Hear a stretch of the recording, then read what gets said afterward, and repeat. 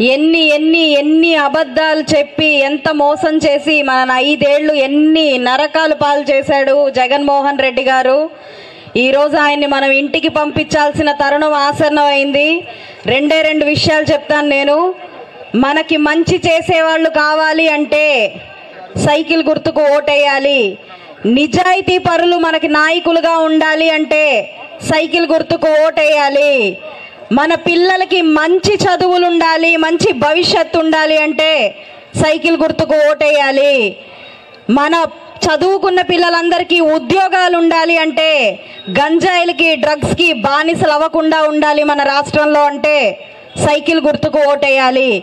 మన ఆడపిల్లలు నిజమైన సంతోషాన్ని చూడాలంటే మన మహిళలందరూ అద్భుతంగా తలెత్తుకొని జీవించాలి అంటే సైకిల్ గుర్తుకు ఓటేయాలి.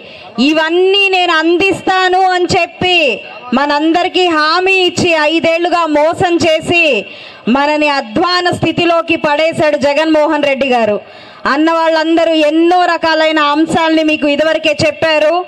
అయితే మనకి రానున్న రోజు మే పదమూడో తారీఖున ప్రతి ఒక్కరూ కూడా రెండు ఓట్లు సైకిల్ గుర్తు మీద వేసి ఘన విజయంతో మనం గెలుచుకోవాలి.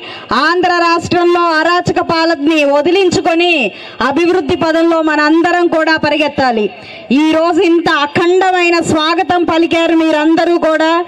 మీ అందరికీ శిరసావహించి శిరసు వంచి పాదాభివందనం చేస్తున్నాను. ఇంతటి ఘన స్వాగతం ఇంతటి అఖండ విజయాన్ని తీసుకురావాలి ఇదే స్వాగతం ఇదే స్ఫూర్తి. రేపు మే పదమూడును కూడా మనం కనపరచాలి.